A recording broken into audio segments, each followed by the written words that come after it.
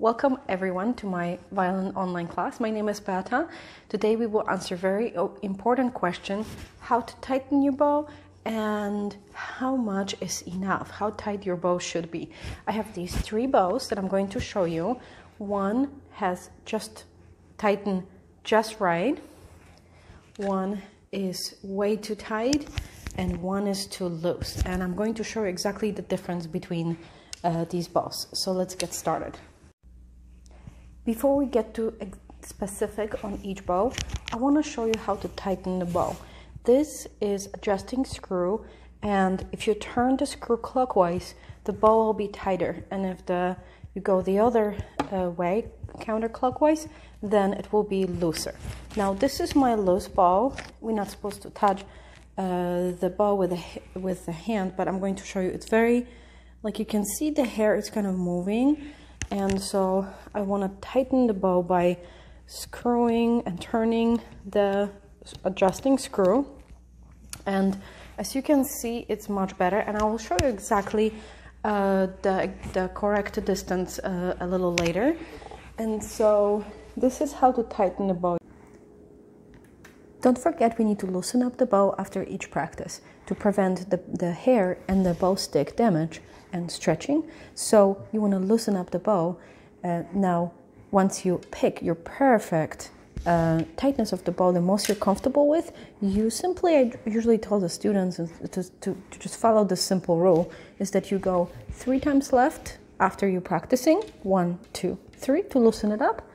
And once you're done, once you want to practice, you want to go one, two, three, which is back to where you have been. So that way it's really easy thing to remember uh, uh, before practicing and after practicing.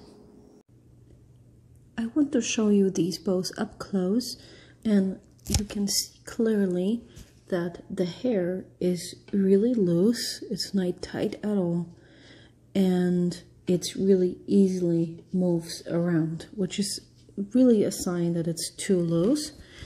Now, notice that uh, this bow is tightened just right and with the most narrow part of the bow, you want to have a pencil length uh, distance between in the most narrow kind of the middle of the bow then you know it's uh, it's just an approximate and, and it differs from bow to bow but that's uh, more or less what you want and also notice how uh, the hair, uh, the bow itself, the wood part, right here, the stick is moving towards the hair a little bit. So it's not supposed to be straight, which you can see this is a very cheap bow and it's also the sign the bow is too tight when you see the hair popping like this. It's you, you don't want that and it is a cheap bow so I'm not expecting too much and this happens with cheap bows but Notice how this part is arching and how far it is from the pencil length in the middle of the bow, which is right here. And so you want around pencil length and uh, notice the hair is sticking out. I want to demonstrate uh, these three bows and how they react with the string itself. This one hits the, the one with the not tightened enough. It's really pressing, when I'm pressing, it's uh, touching the hair. We don't want that. We don't want it to touch the hair because then you would just hear the wood, not the hair itself. So that's the sign it's too loose. Now this is this bow is tightened just right. And notice that I am putting a, applying a little bit pressure but it's uh, it still has room for that. So with, when it comes to dynamics and playing a little louder, you need to put, put a little bit more pressure, and that's what we want. Now you can see this one, which is like a huge distance from the wood and the hair, and it's really uh, difficult to put any type of pressure on this and probably if I play it was very scary quite a bit because it will be really scratchy.